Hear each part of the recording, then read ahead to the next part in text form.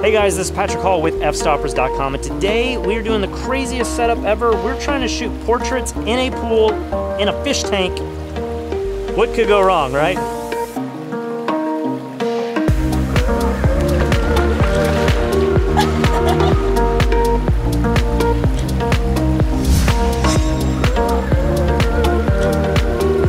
Video is sponsored in part by ACDSee and their image editing suite Photo Studio Pro 2020. Photo Studio Pro is a powerful imaging editor that allows you to quickly and easily process your raw files, clone out imperfections, and catalog all of your images with keywords and geotagging. By utilizing your computer's graphic processor, Photo Studio Pro offers some of the most state-of-the-art editing tools such as non-destructive color grading, blended cloning, and LUT mapping and editing. One of the coolest features with Photo Studio Pro is their improved face detection and facial recognition engine. Now you can organize and edit your images based on the people in your photos. ACDSee will learn the names of the people in your images and you can sort and edit your entire catalog based on the subject's name. If you've just picked up a camera and are looking for a simple image editor, or if you're a seasoned professional needing to simplify your existing workflow, ACDSee's Photo Studio Pro could be the perfect software for you. At the end of this video, I'm going to be editing a few of my own images from this photo shoot, but if you want to get a free trial of your own, head over to the description and the link below. So a lot of people think you have to buy an expensive underwater housing to be able to shoot in a pool, and the truth is,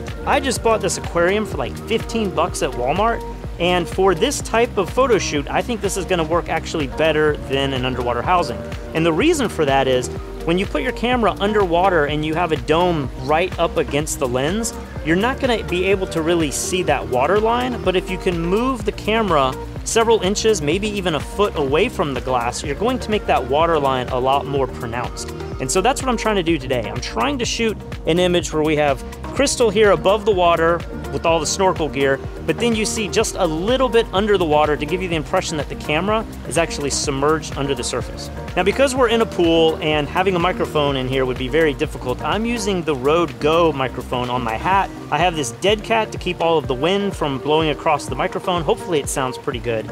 For cameras, I'm shooting with the Nikon D850 and I'm also using the Tamron at 24 to 70. I like this lens a lot because any wider than 24 and your subject's gonna become really distorted. And also I can't shoot a whole lot wider because then the top of this aquarium will start showing up in my frame. So I'm finding that I'm shooting a lot between 24 millimeters and maybe 50 millimeters. That seems to be the sweet spot.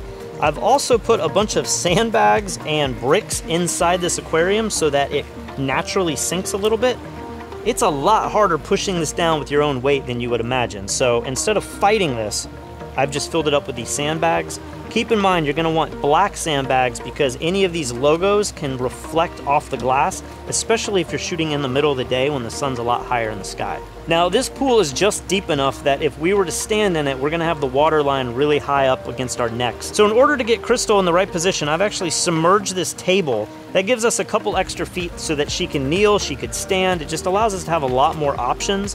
The problem with the table is I have to be very careful how I shoot because I will see the table. I might be able to fix this with a gradient in post by making the underwater segment a little bit darker but you do want to take that into account. Maybe I could put a black blanket over it or something, but I have a white table for the time being. Now for lighting, I'm using the Westcott FJ400. This is a battery powered strobe. The reason you're gonna wanna use battery is because if this was run by AC and fell in the pool, that would be very, very bad. So this is great. It does about 400 flash pops, I think.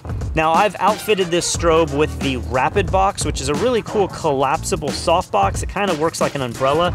And this light modifier is great because it produces a soft light. It also has silver inside, which gives a lot of specular highlights, which is great for the water reflections on the top of the pool. Now, originally my plan was to try to shoot right at the water line and then maybe I could replace the sky in post-production. I may still toy with that, but at the moment, our sky looks pretty awesome. There's a chance I could get this entire shot completely done in camera. So now that you know the camera and the flash that I'm using, let's take a bunch of shots. Hopefully one of these will turn out well. Now, one of the problems that I'm having is if I dunk this aquarium and then pull it up, I have a lot of water that's accumulating on the glass.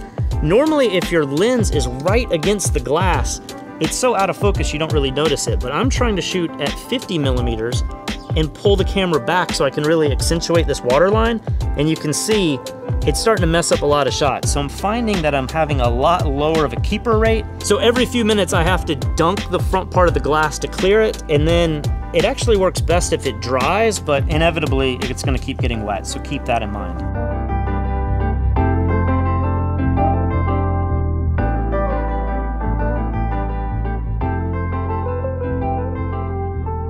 As I've been shooting, I also felt like I could use a little kicker light. It would just make these images look a little more dynamic by having a light coming from Krystal's left-hand side. So for my kicker light, I'm basically just using another FJ400. The other thing that's incredibly useful for this is using live view. And so I'm turning live view on. That's allowing me to see my frame perfectly. And then I can autofocus through the glass and then take a picture and then I can see it instantly. If you had a mirrorless camera, it would probably be a lot easier than using a DSLR, but you're definitely not gonna be able to shoot through the viewfinder. So for these examples here, I'm finding they look a lot better shooting telephoto. And as the light drops, I can start to raise my ISO, so I can start to let a little bit more ambient light in, but when I do that, I also have to lower the power of my strobe. And right now I'm kind of at that sweet spot where everything's balancing out, but I'm also at the lowest power. So any darker, and I'm gonna start to have too much flash and the image is gonna start to look very different than what it looks right now. Here in a minute, I'm gonna have to take pictures only with strobe, and so I'm gonna start to lose the mixture of ambient light with strobe, and the pictures are gonna look very different. They'll probably still look cool, but right now I gotta shoot a lot because this is the time to be photographing. All right, so we got some great shots. I'm losing my light. Let's head into post-production and see if I can edit one of these pictures and create something worthy of my portfolio. All right, so here we are back in the post-production studio, and I'm gonna go ahead and load my favorite RAW files from the shoot in ACDSee's Photo Studio Professional 2020. Again, you can head to the link in the description below to download your own copy if you want to try this on your own. Let's come down here to these raw files. And here you can see about eight different photos that I've culled. Let me go ahead and uh, hit view here so we can see some of these. So here's our first image, and as you can see, ACDSee has outlined Krystal's face with a little box. If I just come down here to this little square called the face tool, I can now come in here. I can just type in Krystal Xamairy. I don't know how to say her last name very well, but I can hit enter. And then now as I go through each one of these images, it asks, is this Krystal? And I can hit yes, which is really cool because now I can categorize my images based on the model's name. So if I want to look through thousands, maybe even millions of images that I've taken over my career, I can uh, just type in somebody's name and find it instantly. So that's pretty cool. All right, so let's look quickly at some of my favorite images from this photo session. Here's one where I actually shot just above water, so you can see it doesn't really have that split view, but I did like the way this looks. You also have the two light setup with the Westcott lights, one firing from the left and one firing from the right. You can see some of the shadows being cast on her arm here from the right. If I go to the next image, this is a completely natural light shot. So let's come over here to our general tab, and let's bring the exposure up on Krystal's face so that it matches a correct exposure.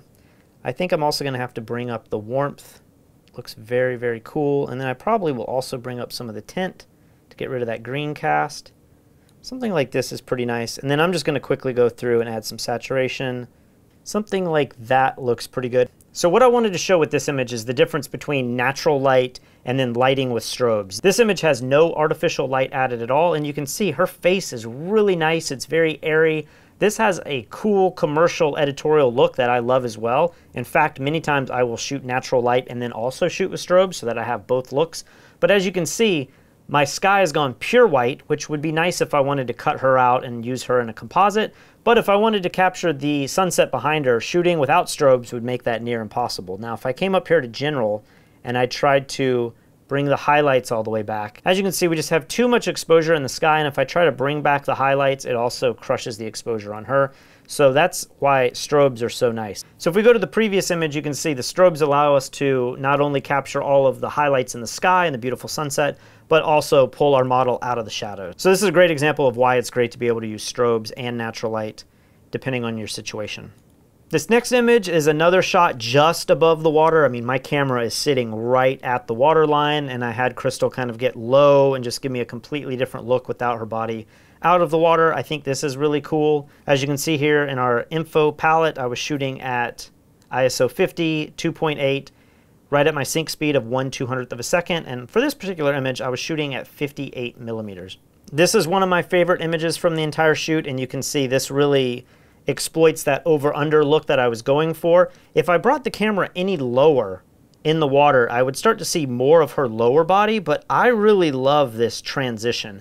As you will see in the next image, one issue you're going to face when you're photographing through a flat uh, piece of glass without a rounded port is that you're not going to always get the objects underwater to line up perfectly with the objects above water. And in many cases, you're also going to have a virtual image that creates kind of a magnification.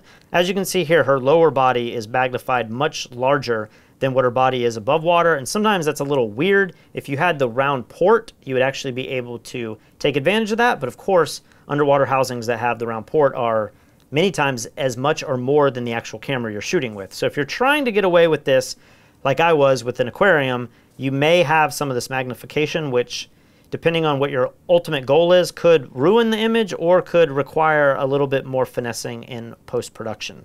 All right, so I think for this tutorial, we are just going to edit this image. This is probably my favorite photo out of all of them. I really love her body position and I love that I got her lower half perfectly lined up with her body and it doesn't look too warped. Maybe her hand looks a little bit larger, but I think I can tweak that just a little bit if I even wind up keeping that in there. The first thing that I want to do is I want to start to play around with this raw file and bring out some of the detail. So the first thing I'm going to do is I'm going to come up to the saturation slider and I think I'm just going to bump up the saturation by 30%. I love the blues and the tones in this image, but maybe I could even go down to like 24, somewhere around there. Let's come up to fill light. And I don't know that the fill light is really adding a whole lot. Let's see what highlights does. Highlights are really preserving some of that sky. kind of like the sky where it's at though. If I go too low, you can see all the highlights on her face start to get brought down. So maybe I'll just bring it up like 26. And then where I like to go is the light EQ. Now this is going to allow us to play with the shadows, midtones, and highlights as we did earlier with the natural light image. If I bring my shadows up too much, you can see it's starting to give that HDR look. I really don't like the way that looks. Let's see what our midtones do. The midtones are really bringing out a lot of detail on her cheek and her hair. So I think I can crush the shadows just a little bit and raise the midtones just a touch. If I ever want to see what I'm doing here, I can come to the deactivate group, tap that. I think that looks really nice. And if you've seen any of the other tutorials that I've done recently on the F-Stoppers channel, one of my favorite areas to tweak an image with is the color EQ, where I can actually adjust each of the colors both by saturation, brightness, hue, and in this case, I also have a contrast slider. So here, let's play around with some of the oranges. That's going to be her skin tone. For this, I think her skin tone is just getting a little too saturated, so I might bring that down just a touch, maybe like minus 8. And then if I bump the reds, you can see it's really playing around with her lipstick. I don't know that it makes sense for her to have really bright lips, so I might bring the red down quite a bit as well. The cyan is going to affect all of those colors on the surface of the water. Maybe I don't even really need to mess with that. And then the blues, I think the blues are what is starting to make this image feel a little too overly saturated. So I might bring the blues down to minus 20.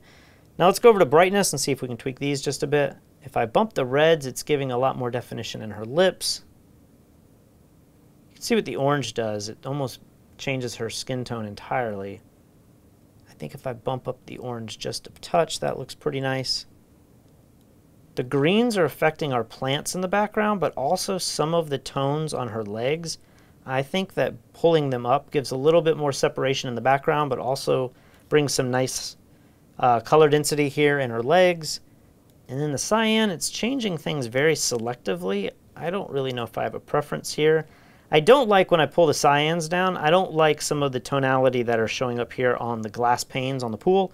But if I pulled it all the way to the right, you can see it kind of smoothens this effect out. So I'm going to leave that there and let's see what blue does. And blue really changes the effect of the water. If I go too bright with the blue, it almost feels like she's in a swimming pool. And if I bring it down just a little bit, I don't know, maybe just minus 11 is pretty nice. So something like that looks pretty good to me. Now before I leave the develop module and start to tweak some of the actual pixels, let's go up to white balance and let's see if I tweak this. If I go make it a little bit more warm, it almost feels like the sun is setting on her, which I do like that effect. If I start to bring it bluer, If you go too blue, it obviously looks ridiculous. But if I go around 5,000, it almost starts to feel a little bit like a nighttime image, which I do like the vibe of that. But I think for this particular edit, I'm going to make it feel a little bit more like sunshine. So right there is pretty good. And then I always like to play with the tint just to see what it does. Sometimes I like the littlest bit of magenta in my images. kind of removes some of the green cast, especially in people's skin. That looks pretty good to me. And then finally, a lot of times I'll put a little tone curve on my images. Sometimes I like to come down here and just pull the blacks down a little bit more and then bump the whites up just a touch. If I toggle this on and off, you can see the contrast that it's added. I might even just flatten out the whites just a bit. So really all I'm doing is crushing those blacks just a bit more. Something like that looks pretty good. At any given time, I can come down here to show original and you can see where we've come with this. I've brought a lot more color back. I've brought a lot more detail, especially in her skin. Now that I look at this, I might actually bring the saturation down just a touch. Maybe bump the vibrance up a little bit. And if we toggle between these two, I think that looks a little more nice. I think I like that just a bit more. I also might bring the tint down just a little bit more towards the green so it's not so purple. Something like that is pretty cool. Now let's come up to the edit module up here and we're going to be able to tweak some of the actual pixels of this image. Now the first thing that I want to do is I want to straighten this horizon. I don't like how it's crooked so to do that I'm going to come to geometry and hit the rotate module and now using the slider, I can spin my image around and using the grid, I can try to line up the horizon back there perfectly. I also don't want to crop the top of her snorkel, so I'm going to change crop straightened image and instead click preserve straightened image. And we'll just hit done. Now the next thing that I want to do is I need to fill in all of these white spaces with some pixels. So if I come up here to repair tool, Photo Studio Professional has a few different tools you're probably familiar with, such as Heal, Clone, and Blended Clone tool, as well as the Smart Erase. Let's try the Heal tool. And the way this works is I can use the wheel on my mouse to increase my tool size. And then if I hit the right side of the mouse, it samples that area, and then I can move that over and now just paint on top of the white. And normally it, it tries to fill that in. I don't know that the heal tool is going to be the best example for this since the colors and the dynamics are so different with it being white versus the, uh, the blue sky. So I'm actually going to come down here to the Smart Erase tool. And with this tool, you don't have to sample anything. You literally just paint on the pixels. I'm just going to come down here and paint the whole thing. It does need just a second to process. That actually does a surprisingly good job. I just need to retouch just a little bit of this. Come up here and get this tiny little line without hitting the snorkel. And if you have any problem areas, let's just come down here to clone and we can add the feathering all the way to 100. I'm going to increase my brush size and then I can right click and simply paint in manually any of these areas that are going to give me a little bit of trouble. All right, something like that looks pretty good. Let's hit done. And now the next thing I need to do is I just need to crop this just a little bit to get rid of these pixels down on her legs. It's going to be a little more difficult to get correct with a clone tool. And I can also tighten up my composition just a bit. I don't think I need her entire hand here, especially since her thumbnail and everything are going to a strange color. So I'm going to maybe crop this in just right about here, just above her finger line. I think that looks really nice. Now there's a few little retouches that I want to do. One is I want to fix or remove this little texture here. I believe she had some kind of pasties on. And so I'm going to come up here to the repair tool again. I'm going to see if I can smart erase just this one little shadow here. So this was actually shot with a body glove rash guard, and so if we were shooting for a clothing manufacturer, we would probably want to remove this little bit here. So I'm just using the Smart Erase tool. Let's see how that does. When using these tools, a lot of times you also want to uh, really pay attention to the direction that you're dragging your brush. Sometimes it makes sense to go up and down, and then other times it makes sense to go left and right. And you also want to make sure that you don't get any of the same patterns showing up. So not only are you looking for texture, but you're also looking for color. And let's come down here and we can zoom out full size. And as we look at that, I feel like that looks a lot better. If we hit show previous, I feel like that just cleans up the neoprene and just makes it look a little bit more clean for a commercial look.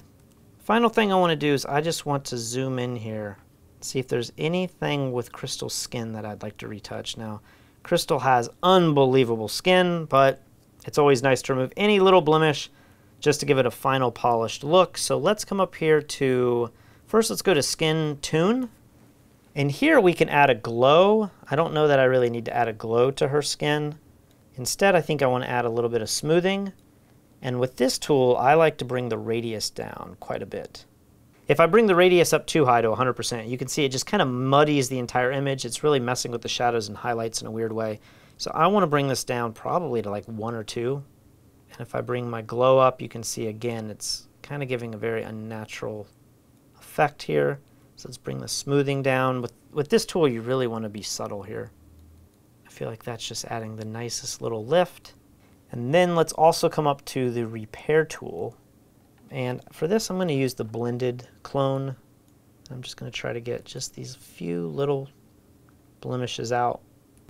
And let me try to get this one stray hair out. I'm going to click right right below it, and then I'm going to just paint that entire area. And let's see what that does. That actually did a really good job. Maybe I clean up just this little bit here. Sometimes with these clone tools and these skin retouching tools, it deletes all of the texture and you're left with this really plastic looking skin. I don't find that this uh, blended clone tool is doing that as much. I really like the effect it's giving. And it's so easy, I'm not having to do a whole lot with it. And I think with the highlight where that strobe hit her forehead, let's see if I can just remove a little bit of this. Just soften that a little bit. I can even come down here to her nose and just pull that up just a little bit. I love the look of a specular softbox, but this is one of the disadvantages is many times if the makeup isn't perfect, sometimes you get this little sheen on the skin, which will accentuate any imperfection in the skin. I know she has great skin and it looks like I'm having to do a lot here, but everybody has this kind of texture when they're hit with that kind of light modifier. So let's see, something like that looks pretty good. If I go between before and after, I know I cropped it so the image moves, but you can just see how much more pleasing that little bit of retouching I did on her forehead and on her cheek. That looks really nice. So the final thing that I think I want to do, and I know this can be controversial for many people, is I want to go to the liquify tool. And if I go here, what I'm looking to do is just tweak the slightest little things that stick out to me. And I'm not trying to make her skinnier, I'm not trying to give her a bigger bust or anything like that. I'm not trying to manipulate reality. I'm just trying to tighten up the little things that maybe the camera kind of inaccurately portrayed in this one particular frame. So one of those areas is going to be under the water. As I said, having the flat glass in front of your lens is going to cause everything underwater to be magnified a little bit more. So what I'm going to do is just try to brush in her hands and just shrink them just a little bit.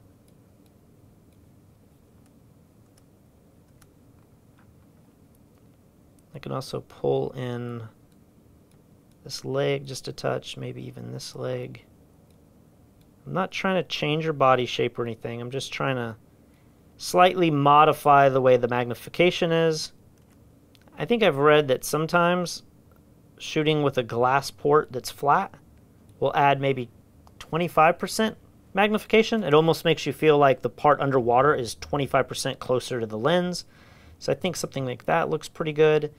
And then I could also really manipulate this water. Maybe pull this in just a touch. Just to give it some nice lines. It's really easy to go overboard with the clone tool. And I don't want to do that I feel like this little line right here on her arm just seems just a little strange. So I'm going to just soften this up just a little bit. And then I always like to give people the best jawline possible. I know she has an amazing jawline, but it's this one little curve right here. If she turned her face just barely, it would have made a really nice sharp jawline, but because I kind of caught her juggling 10 different things as I was taking this photo, we missed that. So I'm just going to pull this in just ever so slightly. So there's our before and after. You can see I've really just kind of thinned up the water there and straightened everything out so the magnification wasn't too crazy and barely touched her jawline just to give it that little bit of pop. So we'll hit done there. And then the final thing that I'm going to do is I'm going to give this image kind of a final polished look. And a lot of times I like to put these color LUTs on my final images. You guys have seen me do this with a bunch of different other software. It's built right into Photo Studio Professional as well. If I come here to color LUTs, I can go down and you can see all of these different colored effects that just give your image a really stylized look. Now most of these are way over the top, so I don't know that I would do these at 100%. But if I come up here to beige, I can also turn the opacity down maybe to like 40%, and if I show previous, you can see what it's doing. It's just adding a nice little color effect that I really like. I liked beige, and I think tinsel was another one that looked kind of cool. So it's just super subtle, kind of gives your image a final film look. I think I'm going to go with this beige. Let's hit done. And I think that is my final image. So the next thing I need to do is let's just export this. Let's come up to File, Export. I'm going to save it in the same source. I'm going to make this a JPEG so that I can put it online. Color space, let's make it RGB. I'm not going to resize the image. I'm just going to flat out export. Boom, simple. So I hope you guys enjoyed that video. This was a really fun shoot. It's always great to have Krystal come and visit us. She's an incredible model and it's fun to try something different. You saw in a previous video where I was using an underwater housing to try to get the same effect, but you can see you can do it with just a fish tank. It does have some issues. You will get some of the distortion under the water because that glass is flat, but if you're looking to just spend 20 or 30 bucks instead of thousands of dollars, this is definitely an option that you have. If you guys want to get your own copy of ACDSee's Photo Studio Professional 2020, again, head to the link in the description. You can download that. We also have a discount code if you decide to buy it. If you guys enjoy videos like this, make sure you subscribe to our YouTube channel below. Also, head over to fstoppers.com for free daily content. And if you want to learn from some of the best photographers in the world, head over to fstoppers.com slash store where you can check out our full-length tutorials. In the meantime, I'll see you guys very soon.